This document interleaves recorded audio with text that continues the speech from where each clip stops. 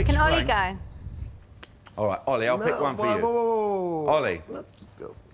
you've got to explain the dangers of too much sunbathing and how to combat it and keep healthy. That's so boring. No, it isn't because you've got to go on about fake tan, etc. No, Ollie. Go. yeah, Ollie should do why fake, ta fake tan should be banned.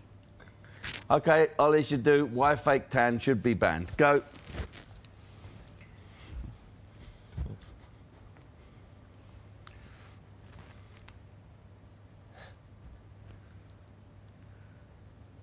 Too many people nowadays have got into a trend of putting on fake tan. Oh. David Dickinson and Dale Winton have started this ridiculous mockery to of very pale-skinned men trying to make themselves look healthy. In fact, it just makes them look ill. Their orange complexion looks like orange. Um,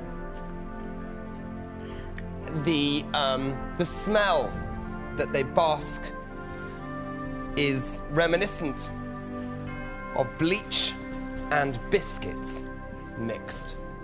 It is disgusting when you stand next to anyone in a Sainsbury's queue and they smell of the biscuity substance which you know is fake tan. I hate fake tan. it is vulgar, it is disgusting. It leaves your clothes with marks you do not wish to have. I wore this t-shirt earlier just to prove this very point. that fake tan it is a disgusting, horrid mess that people should not try and address. They should not try and use it. We need to form an alliance behind not having fake tan allowed in shops. I blame the only way is Essex for this mainly.